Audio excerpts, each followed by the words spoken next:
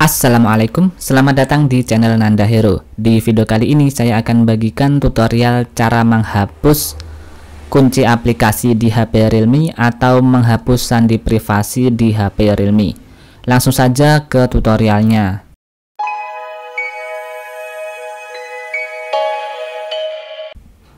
Pertama silahkan buka pengaturan di HP Realme kalian. Selanjutnya silahkan kalian pergi ke keamanan. Di sini pastikan aplikasi kalian tidak ada yang kekunci. Kemudian pilih kunci aplikasi. Kemudian masukkan kata sandi privasi. Nah, di sini silahkan pilih hanya tampilkan yang dikunci. Kemudian di sini ada WhatsApp saja yang saya kunci, silahkan kalian tekan. Kemudian silahkan nonaktifkan pada bagian kunci aplikasi. Oke, jadi di sini sudah tidak ada aplikasi satupun yang dikunci.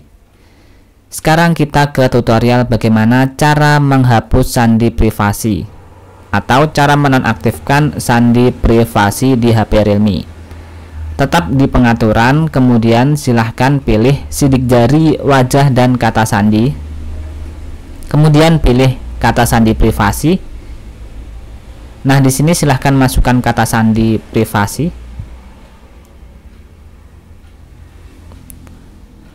Oke, berikutnya silahkan pilih nonaktifkan kata sandi. Di sini ada pemberitahuan Ketika sandi privasi dimatikan, Anda tidak lagi bisa mengakses kunci aplikasi dan berangkas pribadi. Pastikan bahwa data disingkirkan sebelum mematikannya. Nah, tadi kita sudah menonaktifkan aplikasi yang dikunci. Lanjut saja tekan matikan. Di sini kita diminta memasukkan kata sandi privasi